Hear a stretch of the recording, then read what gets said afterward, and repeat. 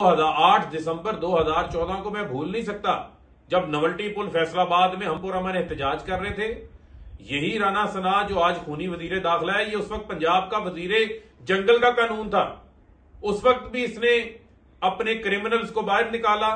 हमारे कारकुनान के ऊपर, पुरमन निहत्ते कारकुनान के ऊपर डायरेक्ट स्ट्रेट फायरिंग्स कराई थी। वो फुटेजेस मीडिया के पास मौजूद हैं। आप चला सकते हैं।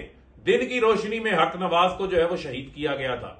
आज हमारे पास जो इतलात आ रही हैं, उसके सबूत भी सामने आ गए कि डॉक्टर यास्मीन राशिद की गाड़ी के ऊपर जो तोड़ फोड़ कराई गई, वो वीडियोस मैंने भी ट्वीट भी की हैं, मीडिया से भी शेयर की हैं, और शायद अभी आपकी स्क्रीन के साइड के ऊपर वो वीडियो भी चल रही हो, और मुँह के ऊपर कपड़ा लपेटे प्राइवेट कपड़ों में जीन्स टी शर्ट पहने जो क्रिमिनल्स, काल आदम तंजीमों के लोग डंडे हाथों में पकड़े हुए हैं, असले से लेस हैं। डॉक्टर यास्मीन राशिद की गाड़ी के ऊपर हमला कर रहे हैं, शीशे तोड़ रहे हैं। यही इनकी मनसूबाबंदी है। ये जो खूनी वज़ीर दाखिला बार बार खूनी मार्च खूनी मार्च की जो बात कर रहा है, ये दंगा फसाद करवाना चाहता है। ये मुल्क को बदमनी की तरफ़ लेके जाना चाहता है। ये खाना जंगी की तरफ़ लेके जाना चाहता है। और ये भी इतलात हैं कि 2000 क्रिमिनल्स को, कालादम तंजीमों के लोगों को इन्होंने पुलिस की वर्दियाँ दी हैं।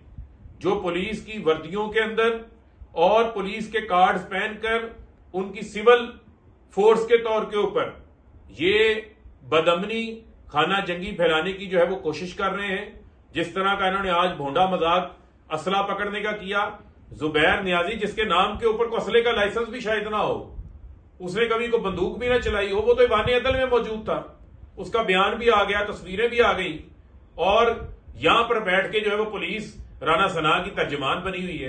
प्रेस कॉन्फ्रेंसें करते फिर रहे हैं। कह रहे जी, हमने असला पकड़ लिया। हमें पता है कि आप लोगों से मुजरिम तो पकड़े नहीं जाते, मुलजिम तो पकड़े नहीं जाते।